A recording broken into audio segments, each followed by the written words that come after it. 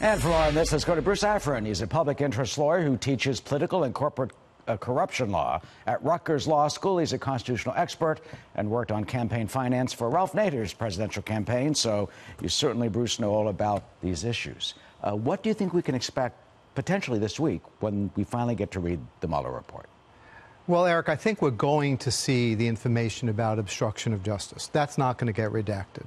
And I think we're going to see that there's a difference of opinion between some prosecutors. But when there's a difference of opinion, that means there's no crime that can be prosecuted.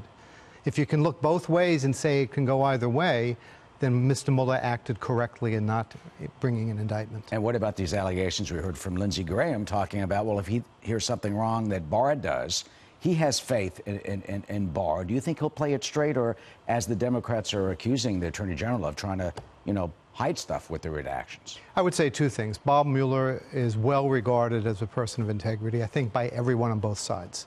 And I don't think Attorney General Barr has ever been criticized, you know, for his level-headedness and fairness. And I think that he has to redact because they're grand jury minutes, there are confidential statements. It has to be redacted. Can you explain that a bit? Because he has come under criticism for that memo talking about uh, bringing charges against the President of the United States. But in terms of grand jury secrecy, by law, that has to be redacted, even to Congress? That must be redacted. It would be extraordinary that even Congress should see grand jury minutes or information still before a grand jury or that which came before it. You know, people, have, the, the, critics have been saying, well, they think there's collusion, even though uh, Mueller came to the opposite conclusion. Tell us a bit about one, one specific meeting. It's the Trump Tower meeting in which Jared Kushner and Don Jr. were there and Paul Manafort, and they met with a Russian lawyer.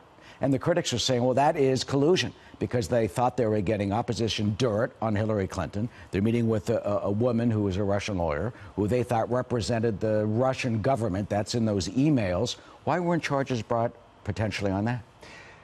The charges were not brought because nothing happened. One can meet with a Russian lawyer, one can have coffee with a Russian lawyer, one can have dinner with a Russian lawyer. It's not collusion. It's collusion if one illegally helps someone intervene in the election while it may not seem very nice to try to get dirt on the opposition, that's not a crime. That's politics in America, and it's not barred by the federal elections laws. And when you talk about the obstruction of justice, what do you think we will see? Do you think we will see that the president engaged in that?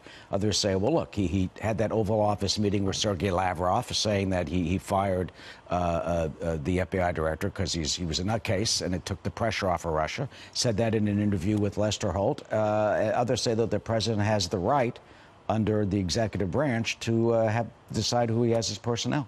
Eric, I think what we have to do is look at what is obstruction of justice. It's really a secret, corrupt action that derails an investigation.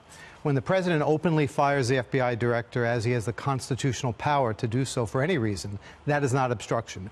When he meets with James Comey to say, do we need to prosecute Mike Flynn for a single mistake in an otherwise blameless life, that's what a president does. That's not a corruption. It's not obstruction. And finally, 20 seconds. Do you think we'll see uh, anything on the alleged FISA abuses in this report? I don't know if it will be there, but it ought to be because it's clear that the Obama administration did not disclose that the information to gain surveillance on Carter Page came from the Clinton campaign. That was a deception on the FISA court. It ought to be in the report. All right, we'll see if it is and see if, uh, as you say, we'll get back to you to analyze it once we get the report. Great. Bruce Afran, thank you so much for joining us. Thank you, Eric.